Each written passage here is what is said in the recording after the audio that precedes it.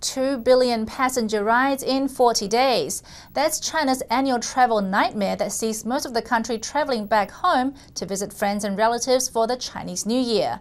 For those traveling by train, a ticket is hard to come by, and the state monopoly on the railway isn't helping. China's Ministry of Railways owns the monopoly on the country's vast rail system. It strictly forbids the sale of tickets without a license but the ministry's own ticketing system has long been criticized as a complete failure. With the Chinese Lunar New Year fast approaching, this is a problem for an estimated 225 million people expected to travel home by rail. To get around the official online ticketing system, a programmer developed software to facilitate online ticketing purchase. It proved so popular it crashed the railway ministry's ticketing site. But that hasn't stopped state-run media, the Global Times, from defending the state monopoly on the railways.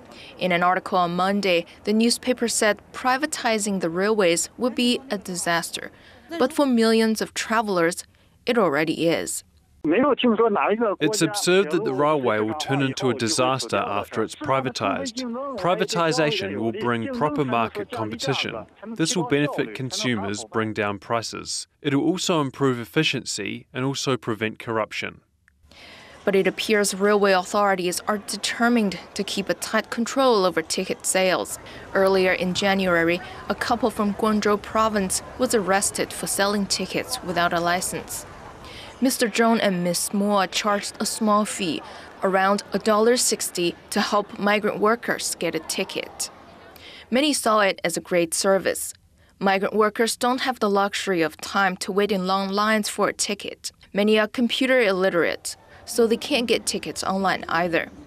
But now the couple faces up to three years in jail and a possible fine of over 25,000 yuan, that's almost $4,000 all for trying to make it easier for others to be reunited with their family in the new year.